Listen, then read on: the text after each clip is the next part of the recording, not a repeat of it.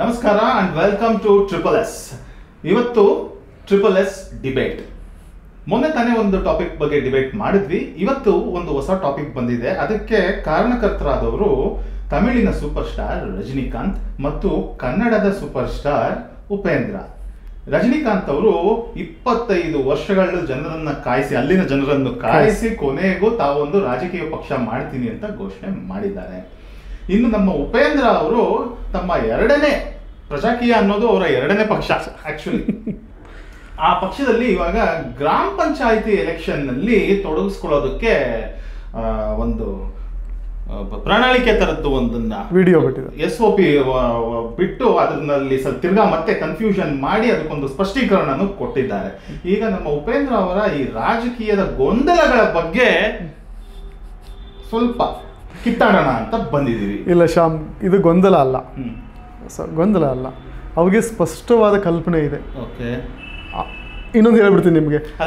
ನಾನು ಪ್ರಜಾಕೀಯದ ವಕ್ತಾರ ಅಲ್ಲ ಮೊದಲೇದಾಗಿ ಈಗಲೇ. ಓಕೆ. ಅವ್ರಿಗೆ ತುಂಬ ಸ್ಪಷ್ಟವಾದ ಕಲ್ಪನೆ ಇದೆ. ಎಂ ಎಲ್ ಎಲೆಕ್ಷನ್ ಆಗಿರಲಿ ಲೋಕಸಭೆ ಎಲೆಕ್ಷನ್ ಆಗಿರಲಿ B B M P election ಆಗಿರಲಿ ಸ್ಪಷ್ಟವಾದಂತಹ ತಿಳುವಳಿಕೆ ಉಳ್ಳಂತಹ ಒಂದು ಪ್ರಣಾಳಿಕೆಯನ್ನು ಕೊಟ್ಟಿದ್ದಾರೆ ಮತ್ತು ಅವ್ರು ಯಾವ ದಿಕ್ಕಿನಲ್ಲಿ ಹೋಗ್ತಿದ್ವಿ ಮತ್ತು ಹೋಗ್ಬೇಕು ಅನ್ನೋದನ್ನು ಪ್ರತಿ ದಿನಾನು ಪ್ರತಿ ಕ್ಷಣನೂ ಅವರು ತಮ್ಮ ಸೋಷಿಯಲ್ ಮೀಡಿಯಾದ ಮೂಲಕ ಜನರಿಗೆ ತಲುಪಿಸ್ತಾನೆ ಇದ್ದಾರೆ. ಹಾಗಾಗಿ ಮೀಡಿಯಾ ಮುಖಾಂತರ ಅನ್ನೋದನ್ನ ಬ್ರಾಕೆಟ್ ಹಾಕಿ ಹೈಲೈಟ್ ಮಾಡಬೇಕಾದಂತ ವಿಷಯ. ಅಲ್ಲ ಬೇರೆ ಮೀಡಿಯಾಗಳು ಅಷ್ಟೊಂದು ಯಾಕೆ ಅಂತ ಹೇಳಿ ಇವಾಗ ನೀವು ಉಪೇಂದ್ರ ಅವರಿಗೆ ತುಂಬಾ ಸ್ಪಷ್ಟತೆ ಇದೆ ಅಂತ ಶರಣ್ ಅವರು ಹೇಳ್ತಾ ಇದ್ದಾರೆ. ಆದ್ರೆ ಅವರು ಅವರೇ ಕನ್ಫ್ಯೂಸ್ಡ್ ಇಲ್ಲ ಜನರನ್ನ ಮಾತ್ರ ಕನ್ಫ್ಯೂಷನ್ ಮಾಡ್ತಾ ಇದಾರ ಅನ್ನೋ ಡೌಟ್ ನನಗಿದೆ. ಯಾಕೆ ಅಂತ ಹೇಳ್ತೀನಿ ಕೇಳಿ. ಪ್ರಜಾಕೀಯ ಅನ್ನೋ ಹೆಸರು. ನಾವು ರಾಜಕೀಯ ಮಾಡೋದಿಲ್ಲ ಪ್ರಜಾಕೀಯ ಮಾಡ್ತೀವಿ ಪ್ರಜಾಕೀಯ ಮಾಡ್ತೀವಿ ಅಂತ ಹೇಳ್ತಾರೆ. ಆ ಪ್ರಜಾಕೀಯಕ್ಕೆ ಅವರು ಕೊಡೋ ಡೆಫಿನೇಷನ್ ಡೆಫಿನಿಷನ್ ಏನು?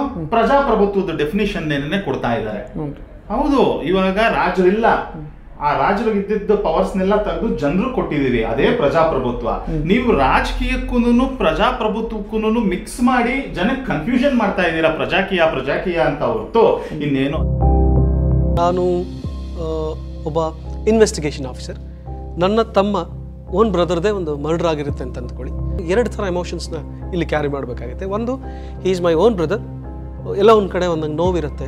ಅದನ್ನು ಕೂಡ ಎಕ್ಸ್ಪ್ರೆಸ್ ಮಾಡಬೇಕು. ಎರಡನೇದಾಗಿ ನಾನು ಪೊಲೀಸ್ ಆಫೀಸರ್ ಅಂದರೆ ಡಿಟೆಕ್ಟಿವ್ ಆಫೀಸರ್ ಸೊ ನಾನು ಆ ಡಿಗ್ನಿಟಿನ ಮೇಂಟೈನ್ ಮಾಡಬೇಕಾಗುತ್ತೆ. ಸೊ ನೆಕ್ಸ್ಟು ಮಾರ್ಕಿಂಗ್ ಅಂದರೆ ಆ ಪೊಸಿಷನ್ ನೀವು ನಿಲ್ಲೋದಕ್ಕೆ ಒಂದು ಮಾರ್ಕ್ನ ಮಾಡ್ತಾರೆ. ಸೊ ಟೇಪ್ನ ದಿಲ್ ಕೀಪ್ ಇಟ್ ಲೈಕ್ ಒಂದು ಕ್ರಾಸ್ ಆಗಿ ಒಂದು ಪೊಸಿಷನ್ ಕೊಡ್ತಾರೆ. ಸೊ ನೀವು ಅಲ್ಲೇ ಬಂದು ನಿಲ್ಬೇಕಾಗುತ್ತೆ. ಇಲ್ಲಿಗೆ ಬಂದ ತಕ್ಷಣನೇ, ಅಂದರೆ ಈ ಸಿಂಗಿಗೆ ಎಂಟ್ರ್ ಆದ ತಕ್ಷಣ ನಮಗೊಂದು ವೈಟ್ ಸ್ಪೇಸ್ ಕೊಟ್ಟಿರ್ತಾರೆ, ಖಾಲಿ ಜಾಗನ. ಸೊ ನಾನು ಆ್ಯಸ್ ಎ ಡಿಟೆಕ್ಟಿವ್ ಆಫೀಸರ್ ನಾನೇನು ಮಾಡ್ತೀನಿ?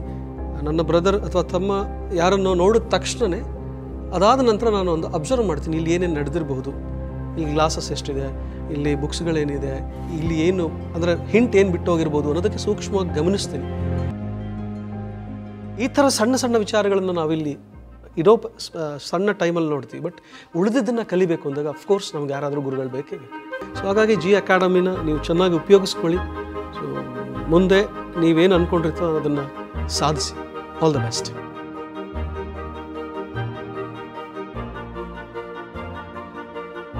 ಬನ್ನಿ ಸಿನಿಮಾ ತಿಳಿಯೋಣ ಕಲಿಯೋಣ ಬೆಳೆಯೋಣ.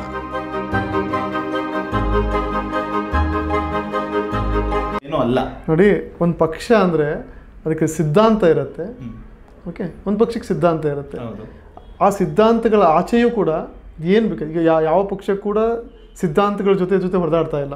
ಒಂದು ಜಾತಿ ಧರ್ಮ ಬಿಟ್ಬಿಟ್ರೆ ಇನ್ಯಾವುದನ್ನು ಕೂಡ ಫೋಕಸ್ ಮಾಡ್ತಿಲ್ಲ ಅವು. ಸೊ ಹಾಗಾಗಿ ಇವರು ಪಕ್ಷ ಬೇಡ ಅಂತ. ಪಕ್ಷ ಅಂತಂದ್ರೆ ಜನ. ಜನ ಅಂದರೆ ಪ್ರಜೆ. ಅದೇ ಡೆಮೋಕ್ರಸಿ ಅದೇ, ಪ್ರಜಾಪ್ರಭುತ್ವ. ಪ್ರಜಾಪ್ರಭುತ್ವ. ಈಗಾಗಲೇ ಇದೆ. ಅದನ್ನ ನೀವು ಪ್ರಜಾಕೀಯ ಅಂತ ಇನ್ನೊಂದು ಹೆಸರು ಯಾಕೆ ಇಡ್ತಾ ಇದ್ದೀರಾ ಈ ಪ್ರಜಾ ಪ್ರಜಾಪ್ರಭುತ್ವ ಇದೆ ಅಂತ ನೀವು ಸುಮ್ಮನೆ ಒಂದು ಬರಹದಲ್ಲೋ ಅಥವಾ ಸಂವಿಧಾನದಲ್ಲೋ ಹೇಳುವಂಥದ್ದಲ್ಲ. ಎಲ್ಲಿದೆ? ಎಲ್ಲಿದೆ? ಪ್ರಜಾಪ್ರಭುತ್ವ ಎಲ್ಲಿದೆ ಹೇಳಿ? ಹಂಗಾದ್ರೆ ಇವಾಗ ನಮ್ಮನ್ನ ಆಳ್ತಾ ಇರೋರೆಲ್ಲ ರಾಜರ ಮಹಾರಾಜರ. ಹಂಗೆ ಇದ್ದಾರೆ. ಅದು ಬೇಡ ಅಂತಾನೆ ನಮ್ಮ ಉಪೇಂದ್ರ ಅವರು ಪ್ರಜಾಕೀಯ ಮಾಡಿದ್ದು. ಇವಾಗ ಯಾರು ಈಗ ಪ್ರಜಾಪ್ರಭುತ್ವ ಅನ್ನೋದು ಇಲ್ವೇ ಇಲ್ಲ ಈಗ. ಹಂಗಾಗ ಹಂಗೆ ಮಾಡಿಬಿಟ್ಟಿದ್ದಾರೆ. ಹಾಗಾದ್ರೆ ನೀವು ಹೇಳ್ತಾ ಇರೋ ಪ್ರಜಾಪ್ರಭುತ್ವ ಯಾವ ರೀತಿ ಇದೆ ಅಂದ್ರೆ ಇವಾಗ ಮೊನ್ನೆ ಗ್ರಾಮ ಪಂಚಾಯತಿ ಎಲೆಕ್ಷನ್ ಅನೌನ್ಸ್ ಆದ್ಮೇಲೆ ಇವರು ಒಂದು S O P standard operating procedure ಅನ್ನೋ ಒಂದು ಪೇಜಿನ ಒಂದು ಇವರ ಪಕ್ಷದ ಸಿದ್ಧಾಂತನ ರಿಲೀಸ್ ಮಾಡಿ ನೀವೇನಾದ್ರೂ ಕಂಟೆಸ್ಟ್ ಮಾಡೋದಾದ್ರೆ ಗ್ರಾಮ ಪಂಚಾಯತಿ ಎಲೆಕ್ಷನ್ಗೆ ಇದನ್ನ ತೋರಿಸಿ ಜನಕ್ಕೆ ಈ ಸಿದ್ಧಾಂತದ ಮೇಲೆ ಮಾಡಿ. ಕೊನೆಗೆ ಅದ್ರಲ್ಲಿ ಒಂದು ಲೈನ್ ಬೇರೆ ಇದೆ. ನಾನು ಏನಾದರೂ ಹೇಳ್ದಂಗೆ ನಡ್ಕೊಳ್ಳಿಲ್ಲ ಅಂದ್ರೆ ನಮ್ಮ ಪಕ್ಷದವ್ರ ಜೊತೆಗೆ ಚರ್ಚೆ ಮಾಡಿ ರಿಸೈನ್ ಮಾಡ್ತೀನಿ ಅನ್ನೋ ಮಾತೆಲ್ಲ ಬರುತ್ತೆ. ಗ್ರಾಮ ಪಂಚಾಯತಿ ಎಲೆಕ್ಷನ್ ನಡೆಯೋದೇನೆ ಪಕ್ಷಾತೀತವಾಗಿ. ಪಕ್ಷ ಪಕ್ಷಾತೀತವಾಗಿ ಅನ್ಕೊಂಡಿದ್ದೀವಿ ಆದರೆ ಪ್ರತಿ ಹಳ್ಳಿಯಲ್ಲೂ ಕೂಡ ಹೌದು ಆಯ್ತು. ಈಗ ಬಿಜೆಪಿ ಕಾಂಗ್ರೆಸ್ ಅವರು. ಜೆಡಿಎಸ್ ಅವರಾಗ್ಲಿ ಹೇಳ್ದಿರ ಮಾಡ್ತಾವ್ರೆ. ನೀವು ಪ್ರಜಾಪ್ರಭುತ್ವ ವಿರೋಧಿಯಾಗಿ ಹೇಳ್ಬಿಟ್ಟು ಮಾಡ್ತಾ ಇದ್ದೀರಾ? ನಾವು ಪಕ್ಷದ ಇದ್ರಲ್ಲಿ ನಿಂತ್ಕೊಳ್ತಾ ಇದೀವಿ ಅಂತ. ನಿಮ್ಮಿಂದಾಗಿ ಆ ರೀತಿ ಯಾರಾದ್ರೂ ನಿಂತ್ಕೊಂಡು ಪಾಪ ಅವರು ಡಿಸ್ಕ್ವಾಲಿಫೈ ಆಗೋ ಚಾನ್ಸಸ್ ಇದೆ. ಆಮೇಲೆ ಗೈಡ್ ಪಕ್ಷದ ಹೆಸರು ನಿಮ್ ಸಿಂಬಲ್ ಅಥವಾ ನಿಮ್ಮ ಮುಖಾನೋ ತೋರಿಸಿದ್ರು ಕೂಡ ಅವರು ಡಿಸ್ಕ್ವಾಲಿಫೈ ಆಗ್ತಾರೆ. ನೀವು ಕನ್ಫ್ಯೂಸ್ ಆಗಿರೋದಲ್ದಿರ ನೀವು ಪಾಪ ಜನರನ್ನ ಮುಗ್ಧ ಜನರನ್ನ ಕನ್ಫ್ಯೂಸ್ ಮಾಡ್ತಾ ಇದ್ದೀರಾ? ಇಲ್ಲ ಶ್ಯಾಮ್ ಅವ್ರು ಹೇಳ ಹೇಳಿದ್ದು ಸರಿ ಇದೆ. ಅಲ್ಲಿ ಏನು ಗೈಡ್ಲೈನ್ಸ್ ಇರುತ್ತಲ್ಲ ಬ್ಯಾಲ ಇದನ್ನ ಆಗುವಾಗ ಎಂಥದ್ದು ನಾಮಿನೇಷನ್ ನಾಮಿನೇಷನ್ ಹಾಕುವಾಗ ಏನೇನು ಪ್ರೊಸೀಜರ್ ಇರುತ್ತೋ ಆ ಪ್ರೊಸೀಜರ್ ಹೇಳ್ಕೊಡ್ತಾರೆ ಆಮೇಲೆ. ಈಗ ಅವ್ರಿಗೆ ಬೇ ಈಗ ಅವ್ರಿಗೆ ಬೇಕಾಗಿದ್ದಿದ್ದು ಈಗ ಅವ್ರಿಗೆ ಬೇಕಾಗಿದ್ದಿದ್ದು ನಮ್ಮದು ಅಂತ ಒಂದು ಪಕ್ಕ. ನೀವು ಹೇಳ್ತಿರುವ ಹಾಗೆ ಗ್ರಾಮ ಪಂಚಾಯತಿ ಎಲೆಕ್ಷನಲ್ಲಿ ಈ ಪಕ್ಷದ ಚಿಹ್ನೆಗಳಿರಲ್ಲ ಈ- ಈ ಪಕ್ಷದ ಜೊತೆ ನಾನು ಎಲೆಕ್ಷನ್ ನಿಂತ್ಕೊಳ್ತೀನಿ ಅಂತ ಇರಲ್ಲ ಅಲ್ಲಿ ಆದಂತ ಬೇರೆ ಬೇರೆ ಚಿಹ್ನೆಗಳು ಚಿಹ್ನೆಗಳಿರ್ತವೆ. ಪಕ್ಷದ್ದು ಪ್ಯಾಂಪ್ಲೆಟ್ನ ತೋರಿಸ್ಬಿಟ್ರೆ ಎಲೆಕ್ಷನ್ ಕಮಿಷನ್ ಅವರು ಏನ್ ಮಾಡ್ತಾರೆ? ನಿಮ್ಮನ್ನ ಡಿಸ್ಕ್ವಾಲಿಫೈ ಮಾಡ್ತಾರೆ. ಆ- ಪ್ರೊಸೀಜರ್ನ ಆಮೇಲೆ ಹೇಳ್ಕೊಡ್ತಾರೆ ಸರ್. ಪ್ರೊಸೀಜರ್ ಮೊದಲು ನಾನು ಈ ಪಕ್ಷ ಅಥವಾ ಈ ಸಿದ್ಧಾಂತದ ಜೊತೆಗಿರುವಂಥವನು ಪಕ್ಷ ಅಲ್ಲ ಅಂತ ಹೇಳ್ತಿದ್ದಾರೆ. ಪಕ್ಷ ಅಲ್ಲ ಅಂತ ಅನ್ಕೊಳ್ಳೋಣ ಪ್ರಜಾಕೀಯ ಸಿದ್ಧಾಂತದ ಅಡಿಯಲ್ಲಿ ಪ್ರಜಾಕೀಯವನ್ನ ನಂಬಿಕೊಂಡು ಸಿದ್ಧಾಂತ ಮಾತ್ರ ಪಕ್ಷ ಅಲ್ಲ ಅಂತಿದ್ದೀರಾ? ಅವ್ರು ಹೇಳ್ಕೊಂಡಿದ್ದಾರೆ. ಆ ಪೋಸ್ಟ್ನಲ್ಲಿ ಪಕ್ಷ ನಮ್ಮ ಪಕ್ಷದಲ್ಲಿ ಚರ್ಚಿಸಿ ಅನ್ನೋ ವರ್ಡೇ ಇದೆಯಲ್ಲ? ಅವರು ಸ್ಪಷ್ಟವಾಗಿ ಹೇಳಿದ್ದಾರೆ ನಾವು ಪಕ್ಷ ಅಲ್ಲ. ಅದಕ್ಕಾಗಿ ನಾನು ಪಕ್ಷ ಯಾವ ಪಕ್ಷ ಅಂತ ಇಟ್ಕೊಂಡಿಲ್ಲ ಪ್ರಜಾಕೀಯ ಅಂತ ಇಟ್ಕೊಂಡಿದ್ದೀನಿ ಅಂತ ಸ್ಪಷ್ಟವಾಗಿ ಹಲವಾರು ಬಾರಿ ಉಪೇಂದ್ರ ಉಪೇಂದ್ರ ಅವರೇ ಮೊನ್ನೆ ರಿಲೀಸ್ ಮಾಡಿರೋ ಪೋಸ್ಟರ್ನಲ್ಲಿ ಪಕ್ಷದ ಜೊತೆ ಚರ್ಚಿಸಿ ಅಂತಾನೆ ಇದೆ. ಇದರಿಂದ ನೀವು ಪಾಪ ಮುಗ್ಧ ಜನರು ಯಾರು ಎಲೆಕ್ಷನ್ ನಿಂತ್ಕೊಳಕ್ ಹೋಗ್ತೀರಾ? ಅವರು ಡಿಸ್ಕ್ವಾಲಿಫೈ ಆಗೋ ತರ ಮಾಡ್ತಾ ಇದ್ದೀರಾ? ನೋಡಿ ಅವರು ತುಂಬಾ ಜನ ಆಮೇಲೆ ಅದೇ ಪೋಸ್ಟ್ ಅಲ್ಲಿ ಇನ್ನೊಂದು ಗೊಂದಲ ಹೇಳ್ಬಿಡ್ತೀನಿ ನಾನು. ಇವಾಗ ಹೇಗೆ ನೀವು ರಾಜಕೀಯಕ್ಕೂ ಪ್ರಜಾಪ್ರಭುತ್ವಕ್ಕೂ ಮಿಕ್ಸ್ ಮಾಡಿ ಕನ್ಫ್ಯೂಷನ್ ಮಾಡ್ತಿದ್ದೀರೋ ಅದೇ ರೀತಿ ಒಬ್ಬ ಗೌರ್ಮೆಂಟ್ ಸರ್ವೆಂಟ್ಗೂ ಪಬ್ಲಿಕ್ ಸರ್ವೆಂಟ್ಗೂ ಇರೋ ವ್ಯತ್ಯಾಸನ ಬ್ಲರ್ ಮಾಡಿ ಕನ್ಫ್ಯೂಸ್ ಮಾಡ್ತಾ ಇದ್ದೀರಾ. ನಿಮ್ಮ ಎಸ್ ಒ ಪಿ ನಲ್ಲಿ ನೀವು ಕೊಟ್ಟಿರೋದು ಏನಂತ ಇದೆ ಅಂದ್ರೆ ಇವಾಗ ಒಬ್ಬ ಸರ್ಕಾರಿ ಅಧಿಕಾರಿ ಆದವನು ಏನೇನ್ ಮಾಡ್ಬೇಕ ಮಾಡ್ಬೇಕಾಗಿತ್ತೋ ಅಂತ ಕೆಲಸಗಳನ್ನೆಲ್ಲ ಒಬ್ಬ ಪ್ರಜಾಪ್ರತಿನಿಧಿ ಮಾಡಬೇಕು ಅನ್ನೋ ಮಟ್- ಮಟ್ಟದಲ್ಲಿ ನೀವು ಮಿಕ್ಸ್ ಮಾಡ್ತಾ ಇದ್ದೀರಾ. ನಿಮ್ಮದು ಬೇಕಂತಲೇ ಬೇಕಂತ್ಲೇನೆ ನೀವು ಗೊಂದಲದಲ್ಲಿದ್ದೀರಾ ಇಲ್ಲ ಬೇಕಂತಲೇ ಜನಕ್ಕೆ ಈ ತರ ಗೊಂದಲ ಸೃಷ್ಟಿ ಮಾಡ್ತಾ ಇದ್ದೀರಾ ನನಗೆ ಗೊತ್ತಿಲ್ಲ? ಬಟ್ ನಾನು ನಾನು ಅಂತಿದ್ರೆ ನಾನಲ್ಲ. ಅವ್ರ ಪಕ್ಷ. ಸೊ ಅವರ ಸಿನಿಮಾಗಳು ನೋಡ್ಕೊಂಡು ಬನ್ನಿ. ಓಕೆ ಜನರು ಹಲವಾರು ಬಾರಿ ನೋಡಿದ್ದಾರೆ. ಹಲವಾರು ಬಾರಿ ಗೊಂದಲ ಗೊಂದಲಕ್ಕೆ ಒಳಗಾಗಿದ್ದಾರೆ ಹೌದು. ಯಾವಾಗಲೂ ಅವರು ತಲೆ ಕೆಳಗಾಗಿ ಪೋಸ್ಟ್ ಮಾಡಿಬಿಡೋದು ಹೌದು ಒಂದು ವಿಷಯನ ಓ ಅಂತ ಏನೋ ಮಾಡಿ ಹೇಳೋದು. ಸೊ ಅದಕ್ಕೆ ಯಾಕೆ ಹೇಳ್ತಾರೆ ಅಂದರೆ ಈ ಥರ ಒಂದು ಕ್ರಿಯೇಟ್ ಮಾಡಿದರೆ ಜನರ ಮನಸ್ಸಲ್ಲಿ ಶಾಶ್ವತವಾಗಿ ಉಳ್ಕೊಳ್ಳುತ್ತೆ ಅನ್ನುವ ಒಂದು ಗಿಮಿಕ್ ಆಯ್ತು ಅಂತ ನಿಮಗೆ ಅನ್ನಿಸ್ತಾ ಇಲ್ವಾ ಶರಣು ಅವರೇ? ಅವರು ಯಾವ ನನಗೆ ನೀವು ಹೇಳೋದೆಲ್ಲ ಸರಿ ನಿಜ ಹೌದು ದುಡ್ಡಿಲ್ದಿರ ಎಲೆಕ್ಷನ್ ಮಾಡಬೇಕು. ಹಣಬಲ ತೋಳ್ಬಲ ಎಲ್ಲ ಯೂಸ್ ಆಗಬಾರ್ದು. ಬರೀ ಒಂದು ಐಡಿಯಾಲಜಿ ಮೇಲೆ ಜನ ಚುನಾವಣೆಗೆ ನಿಂತು ಗೆಲ್ಲೋ ಥರ ಆಗೋ ಒಂದು ಸಾಧ್ಯತೆ ಯೂಟೋಪಿಯನ್ ಯೂತೋಪಿಯನ್ ಐಡಿಯಾ ಅದು. ಎಲ್ಲೋ ನಾವು ಸ್ವರ್ಗದಲ್ಲಿ ನಿಂತ್ಕೊಂಡು ಯೋಚನೆ ಮಾಡೋ ತರ ಅನ್ನಿಸ್ತಾ ಇದೆ ಇದು. ನಿಜವಾಗ್ಲೂ ಪ್ರಾಕ್ಟಿಕಲ್ ಆಗಿ ಸಾಧ್ಯನಾ? ನೀವು ಟ್ವಿಟರಲ್ಲಿ ನೀವು ಸಾವಿರಾರು ಟ್ವೀಟ್ ಮಾಡಿದ್ರು ನಿಮ್ಗೆ ಅಲ್ಲಿ ಒಂದು ಓಟ್ ಬೀಳೋ ಸಾಧ್ಯತೆ ಇದೆಯಾ ಹಳ್ಳಿನಲ್ಲಿ? ಶಾಮ್ ಇವತ್ತು ಮಗು ಆಗಿದೆ. ನಾಳೆ ಓಡಾಡು ಅಂತಂದ್ರೆ ಆಗಲ್ಲ. ಸೊ ಈಗ ಸದ್ಯ ಅದು ಮಗು ಹುಟ್ಟಿದೆ. ಅಂಬೆಗಾಲಿಡುವ ಪ್ರೊಸೆಸ್ಸಲ್ಲಿದೆ ಮುಂದೆ ಯಾವತ್ತೂ ಆಗುತ್ತೆ. ಅವ್ರು ಏನು ಇವತ್ತನೇ ನಾನು ಎಲೆಕ್ಷನ್ ನಿಂತ್ಕೊಂಡ್ಬಿಟ್ಟು ಇವತ್ತನೇ ಗೆದ್ದುಬಿಟ್ಟು ಇವತ್ತನೇ ನಾನು ಏನೋ ಒಂದು ಅಧಿಕಾರಿ ಹಿಡಿಬೇಕು ಅನ್ನುವ ಅಪಾಪಿತನ ಬಹುಶಃ ನನಗೆ ಅವರೆಲ್ಲ ಕಾಣ್ತಿಲ್ಲ. ಇವತ್ತೇ ಅಂತಲ್ಲ ಯಾವತ್ತೂ ಅಧಿಕಾರ ಹಿಡಿಬೇಕು ಅನ್ನೋ ಆಸೆ ಇದ್ದಂಗಿಲ್ಲ ಉಪೇಂದ್ರ ಅವ್ರಿಗೆ ಅವ್ರಿಗೆ ನೀವೇ ರಾಜರಾಗಿ ನೀವೇನೆ ಪ್ರಜೆಗಳನ್ನೇ ಅದು ಮಾಡಿ ಇದು ಮಾಡಿ ಅಂತ ಹೇಳ್ತಾ ಇದ್ದೀರಾ? ಪೋಸ್ಟರ್ ಅಲ್ಲೆಲ್ಲ ನಿಮ್ದೇ ಫೋಟೋ ಇರುತ್ತೆ. ಪ್ರಜೆಗಳದ್ದು ಬಿಟ್ಟು ಬೇರೆ ನಿಮ್ಮ ಫೋಟೋ ಬಿಟ್ಟು ಪ್ರಜಾಕೀಯದ ಯಾವುದೇ ಮೆಟೀರಿಯಲ್ನಲ್ಲಿ ಬೇರೆ ಯಾರ್ದಾದ್ರೂ ಫೋಟೋ ಇದೆಯಾ? ಒಂದು ಮುಖವಾಣಿ ಅದು. ಮತ್ತೆ ಜನ ಇರ್ಬೇಕು ಒಬ್ಬ ನಾಯಕ ಇರಬೇಕು. ಹೇಳ್ತೀರಾ? ನೋಡಿದ್ರೆ ನಿಮ್ದೇ ಫೋಟೋ ಹಾಕೊಳ್ತೀರಾ? ಡೆವಲಪ್ಮೆಂಟ್ ಆದಾಗ ಮಗು ಇವಾಗ್ಲೇನೆ ಹುಟ್ಟಿದ ತಕ್ಷಣ ನಡೆಯಲ್ಲ ಅಂತ ಹೇಳ್ತಿದ್ದಾರೆ ಆದ್ರೆ ಈ ಪ್ರಜಾಕೀಯ ಅನ್ನೋ ಮಗು ನಡಿಬೇಕಂದ್ರೆ ಫಸ್ಟ್ ಉಪೇಂದ್ರ ಅವರು ಈಚೆ ಬಂದು ನಡೆದಾಡ್ಬೇಕು. ಅವರು ಒಂದೇ ಕಡೆ ಕೂತ್ಕೊಂಡು ಟ್ವಿಟರ್ ಫೇಸ್ಬುಕ್ ಅಂತ ಮಾಡ್ತಾ ಇದ್ರೆ ಅವರು ಎಂ ಎಲ್ ಎಲೆಕ್ಷನಲ್ಲಿ ಬಹುಶಃ ನಾನು ಹೋಗಿದ್ರು. ಸುಮಾರು ಕಡೆ ಅವರು ಸುತ್ತಾಡಿದ್ರು ಎಲೆಕ್ಷನ್ ಬಂದಾಗ ನೀವು ಓಡಾಡೋದು ಬೇರೆ. ಪಕ್ಷ ಕಟ್ಟೋದಕ್ಕೆ ಓಡಾಡೋದು ಬೇರೆ. ನಮ್ಮ ರೆಡ್ಡಿ ಅವರು ರಾಷ್ಟ್ರೀಯ ಸಮಿತಿ ಕರ್ನಾಟಕ ರಾಷ್ಟ್ರೀಯ ಸಮಿತಿ ಅಂತ ಪಕ್ಷ ಕಟ್ಟಿ ನಿಮ್ಮಷ್ಟೇನೇನೆ ಅವ್ರಿಗೂ ಐಡಿಯಾಲಜಿಕಲ್ ಸ್ಪಷ್ಟತೆ ಇದೆ. ಪ್ರತಿ ವಿಷಯದ ಬಗ್ಗೆ ಮಾತಾಡ್ತಾರೆ. ಈಗಲೂ ಊರು ಊರು ಸುತ್ತಕೊಂಡು ಹಳ್ಳಿ ಹಳ್ಳಿ ಸುತ್ತಕೊಂಡು ಅವರ ಐಡಿಯಾಲಜಿನ ಪ್ರಚಾರ ಮಾಡ್ತಿದ್ದಾರೆ. ಎಲೆಕ್ಷನ್ ಇರಲಿ ಬಿಡ್ಲಿ. ನೀವು ಎಲೆಕ್ಷನ್ ಬರೋ ಟೈಮ್ ಒಂದ್ಸತಿ ಒಂದು ಪಟ್ಟಿ ರಿಲೀಸ್ ಮಾಡ್ಬಿಟ್ಟು ನೀವು ಹಿಂಗ್ ಮಾಡಿ ನೀವು ಹಿಂಗ್ ಮಾಡಬಾರ್ದು ಹಿಂಗ್ ಮಾಡಿದ್ರೆ ಹಿಂಗಾಗುತ್ತೆ ಅಂದ್ಬಿಟ್ಟು ಸ್ವರ್ಗ ತೋರಿಸೋ ತರ ಮಾಡಿದ್ರೆ ಆಗೋದಿಲ್ಲ. ನೀವು ಎಲೆಕ್ಷನ್ ಟೈಮಲ್ಲಿ ಎಷ್ಟು ನೀವು ಟ್ವಿಟರ್ ಅಲ್ಲಿ ಕೆಲಸ ಮಾಡ್ತಿರೋ ಎಲೆಕ್ಷನ್ ಇಲ್ಲದೆ ಇದ್ದಾಗ ಬೀದಿಗಿಳಿದು ಅಷ್ಟೇ ಕೆಲಸ ಮಾಡಬೇಕು. ಇವಾಗ ನಡೀತಿರೋದು ಯಾವುದು ಎಲೆಕ್ಷನ್ನು ಗ್ರಾಮ ಪಂಚಾಯತಿ. ಎಲೆಕ್ಷನ್ ಕಳೆದ ಒಂದು ತಿಂಗಳಿಂದ ರೈತರು ಏನೆಲ್ಲ ಕಷ್ಟ ಪಡ್ತಾ ಇದ್ದಾರೆ ಅವ್ರದ್ದು ಸರಿನೋ ತಪ್ಪೋ ಅಟ್ಲೀಸ್ಟ್ ನಿಮ್ಗೆ ಸ್ಪಷ್ಟತೆ ಇದ್ರೆ ರೈತರೇ ನೀವು ಮಾಡ್ತಾ ಇರೋದು ಸರಿ ರೈತರೇ ನೀವು ಮಾಡ್ತಾ ಇರೋದು ತಪ್ಪು ಅಂತ ಹೇಳಿಲ್ಲ ನೀವು ಒಂದು ತಿಂಗಳಿಂದ. ಒಂದು ಒಂದಿಷ್ಟು ವಿಷಯಗಳಿಗೆ ಸೀದಾ ಹೋಗಿ ಗ್ರಾಮ ಪಂಚಾಯತಿ ಎಲೆಕ್ಷನ್ಗೆ ಕ್ಯಾಂಡಿಡೇಟ್ಸ್ನ ನಿಲ್ಲಿಸ್ತೀನಿ ಅಂದ್ರೆ? ಇಲ್ಲ ಒಂದು ವಿಷಯದಲ್ಲಿ ಅವರು ಫುಲ್ ಟೈಮ್ ರಾಜಕಾರಣಿ ಆಗಿಲ್ಲ ಇಲ್ಲಿವರೆಗೂ ಇದನ್ನು ನಾನು ಒಪ್ಕೊಳ್ತೀನಿ. ಯಾಕಂದ್ರೆ ಸಿನಿಮಾ ಮಾಡ್ತಾರೆ ಎಲೆಕ್ಷನ್ ಇದ್ದ ಟೈಮಲ್ಲಿ ಅವರು ಕ್ಯಾಂಪೇನ್ಗೆ ಹೋಗ್ಲಿಕ್ಕೆ ಶುರು ಮಾಡ್ತಾರೆ. ಮತ್ತು ಇನ್ನೇನೋ ಬರೆಯೋಕ್ಕೆ ಶುರು ಮಾಡ್ತಾರೆ ಇನ್ನೇನೋ ಸಡನ್ನಾಗಿ ಪ್ರಣಾಳಿಕೆ ತಂದುಬಿಡ್ತಾರೆ ಹಿಂಗೆ ಆಗಬೇಕು ಅಂತ ನಿಂತ್ಕೊಳ್ತಾರೆ. ಸೊ ಅವರು ಫುಲ್ ಟೈಮ್ ರಾಜಕಾರಣಿ ಆಗುವ ಎಲ್ಲ ಲಕ್ಷಣಗಳಿದ್ದಾವೆ.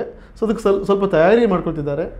ತಯಾರಿ ಮಾಡ್ಕೊಂಡು ನೆಕ್ಸ್ಟ್ ಬರ್ಬೋದೇನಪ್ಪ ಫುಲ್ ಟೈಮ್ ಅನ್ಕೊಂಡು ಅನ್ಸುತ್ತೆ? ಇವಾಗ ಅವರು ನನಗೆ ಅನ್ನಿಸ್ದಂಗೆ ಉಪೇಂದ್ರ ಅವರು ಗೆದ್ರೆ ಅವ್ರಿಗೆ ಕ್ರೆಡಿಟ್.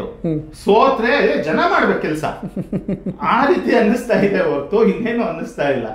ಈ ಸೆಲೆಬ್ರಿಟಿಗಳು ಬಂದಾಗ ಈಗ ರಜನಿಕಾಂತ್ ಅವ್ರು ಬಂದಾಗ ಅಂಥದ್ದೊಂದು ವಾತಾವರಣ ಅಂಥದ್ದೊಂದು ಚರ್ಚೆ ಕೂಡ ಅಲ್ಲಿ ನಡೆದಿದೆ. ಹಿಂದೆ ಮ್ಯಾಜಿಕ್ ಆಗಿದ್ದಾವೆ ಜಯಲಲಿತಾ ಕರುಣಾನಿಧಿ ಅವ್ರ ಮ್ಯಾಜಿಕ್ ಈ ರಜನಿಕಾಂತ್ ಅವ್ರ ಮ್ಯಾಜಿಕ್ ನಡೆಯಲ್ಲ. ಯಾಕಂದ್ರೆ ನೀವು ಹೇಳ್ತಿರೋ ಹಾಗೆ ಅವರು ಕೂಡ ಆಚೆ ಬಂದಿಲ್ಲ.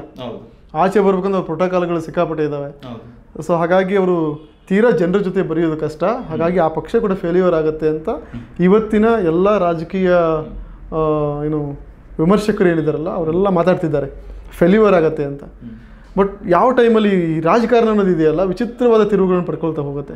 ನನ್ನದಂಥದ್ದೊಂದು ಹೋಪ್ ಇದೆ. ಉಪೇಂದ್ರ ಅವರು ಇವತ್ತಲ್ಲ ನಾಳೆ ಏನು ಆಗ್ತಾರೆ ಇವತ್ತಲ್ಲ ನಾಳೆ ಅಲ್ಲ ಇವಾಗ ನಾನು ಒಂದು ಉದಾಹರಣೆ ಕೊಟ್ಬಿಡ್ತೀನಿ.